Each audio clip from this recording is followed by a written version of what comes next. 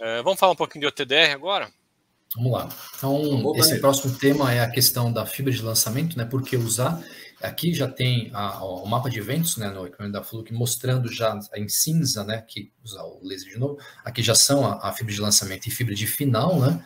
E, mas a explicação que eu uso é a seguinte: aqui a gente tem um evento, um evento ruim, que é uma fusão, né? Então essa bolinha aqui é uma fusão, uma fusão que está ruim, 0,81, porque segundo essa norma aqui, que permite apenas um valor de 0,30 dBs por fusão, ele excedeu esse valor. Mas aqui vem aquela famosa pergunta: como é que ele me apresenta esse valor de perda? Porque isso aqui é um valor de perda, lá, dB. Como é que ele me apresenta isso? No gráfico, exatamente isso aqui, ó, esse degrauzinho aqui. Então, o OTDR ele vai medir reflectância, ou seja, luz refletida. Luz refletida ao longo do tempo. Então, a, a sigla né, é justamente isso. E a hora que ele te traz essa informação de que existe essa fusão aqui, o que, que ele tem aqui? Um momento antes, ele tem um valor de reflectância. Logo após, ele tem um outro valor para reflectância. Esse delta aqui, ou seja, o antes menos o depois, o contrário, depois menos o antes, é onde ele tira o valor de dB calculado, que o Denis já falou para a gente que então o OTDR não mede perda, ele calcula esses valores aqui em dB. Então, se é um valor medido, ele vai ter essa configuração. Muito bem. Quando você tem o link iniciar. Então, esse aqui é o link sob teste. Se eu vou testar esse link, qual que é o valor desse conector do meu cliente? Qual que é o delta? Eu não vou saber. Então, se eu olhar o gráfico aqui antes, olha lá como é que começa o gráfico de ATDR. Uhum.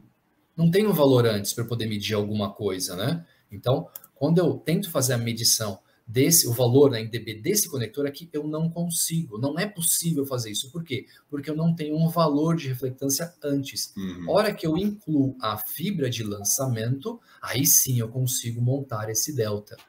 Muito bem. Quando eu uso também a fibra de final, aí eu também posso fazer o quê?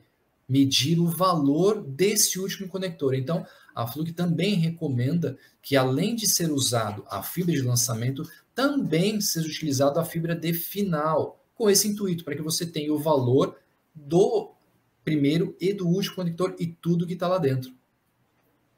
Ok? Denis, quer complementar aqui? Não, é isso mesmo, é isso mesmo. É, você consegue mudar para o meu rapidinho só um. Acho que eu. Dois slidezinhos, Marcelo? fazer isso? Aqui. Então, aí é justamente a. É a mesma coisa que o que o Gil acabou de mostrar. O que acontece quando a gente não usa uma bobina de lançamento e bobina de terminação, esses são os, os termos que a gente usa, sempre difere um pouquinho, né? É, ah, o que acontece é que para a gente poder medir um evento refletivo, a gente precisa de uma estabilidade de sinal antes do evento chamada backscatter. Quando a gente não usa bobina e usa um jumper diretamente, obviamente o primeiro conector do jumper não é medido, e também não pouco importa nesse caso, mas o primeiro conector do enlace a gente não tem essa estabilidade de sinal para permitir o antes e o depois. E no final é exatamente a mesma coisa. Você depois do último conector você não tem nada, só ruído e você não tem como um, um piso de sinal posterior para poder fazer essa conta. Então é, já tem é, é, historicamente a gente vê resistência de muita gente com o uso da bobina de lançamento.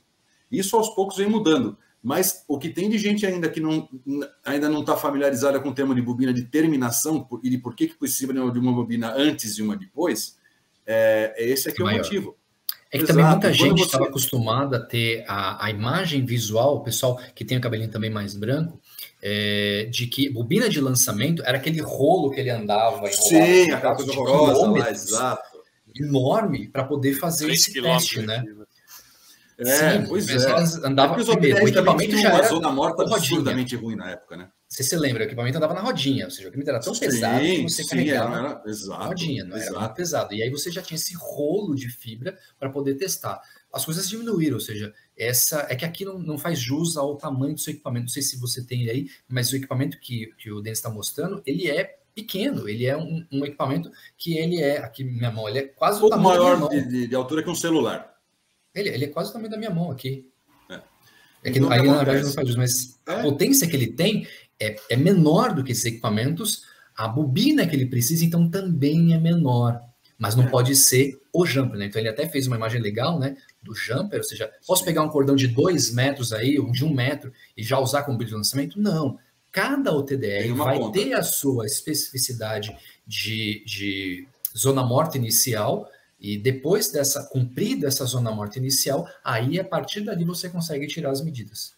É. E que complica um pouco que a zona morta é, a zona morta varia um pouco de acordo com a largura de pulso, né? Então, se você vai medir uma fibra pequena, a largura de pulso menor, a zona morta diminui, né? Você ah, uma justo, fibra grande, justo. e aí você acaba tendo que ter uma bobina de lançamento que seja maior do que a maior zona morta que supostamente esse equipamento vai é, medir, né? Não tem sentido Não, você andar exato. com várias bobinas, uma pequena, uma média, uma grande, porque eu vou medir. Até que você pode informar menor também, maior, né? né?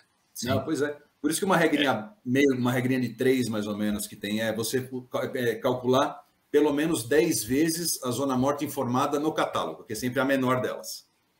Então, se tem uma zona morta de um metro, tem que estar no mínimo 10. Só que a zona, a zona morta de pior caso é muito maior que de um metro.